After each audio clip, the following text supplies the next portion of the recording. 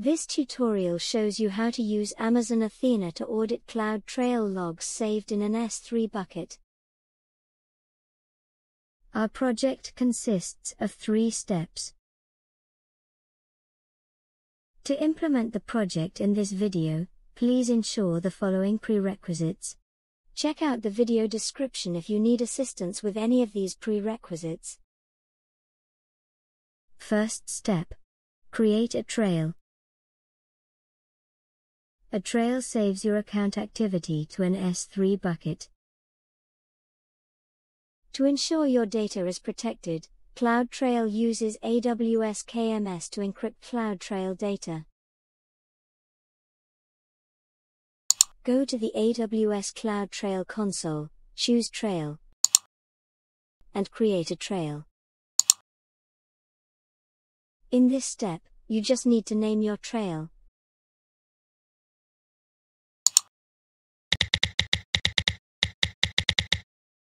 The S3 bucket where CloudTrail is gonna save data. And a KMS key.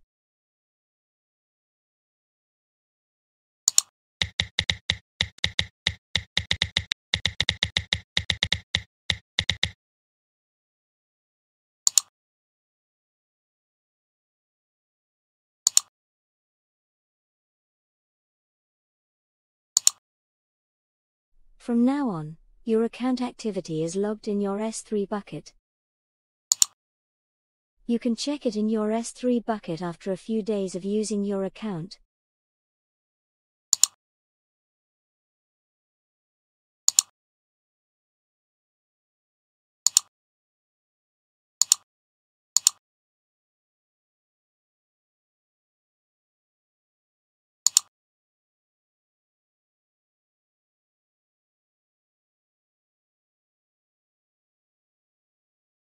Second step.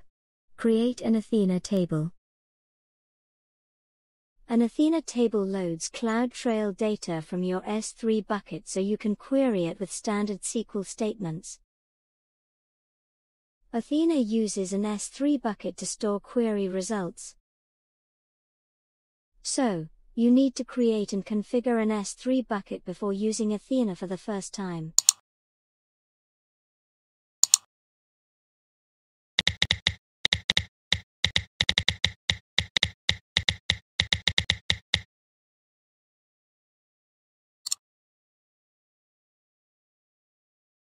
Then, head over to CloudTrail and create an Athena table. Choose the S3 bucket storing your CloudTrail data.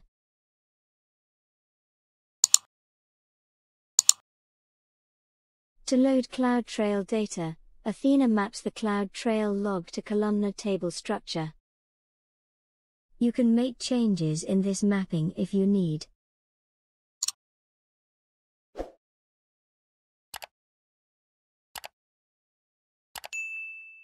Last step. Query and cleanup.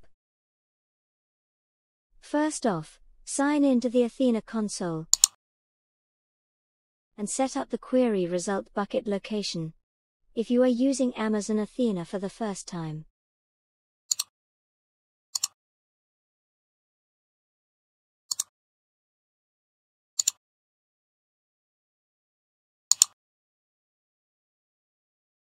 Next, Query the table to see the structure and explore your data.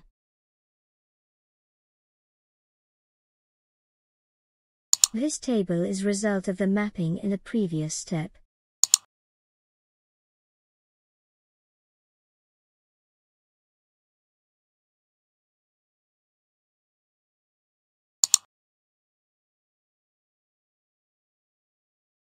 You can carry out your own analysis.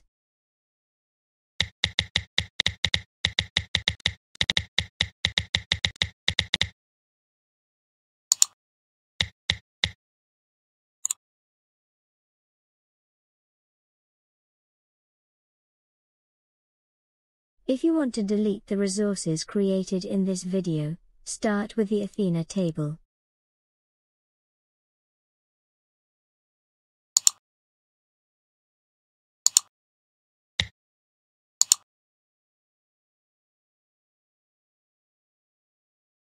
Then, delete your trail.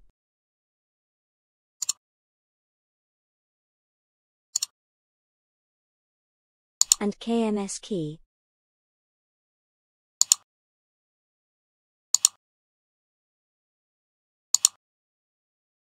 Notice you cannot delete a KMS key directly.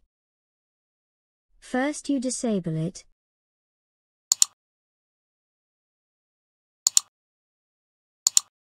Then, you schedule the key deletion.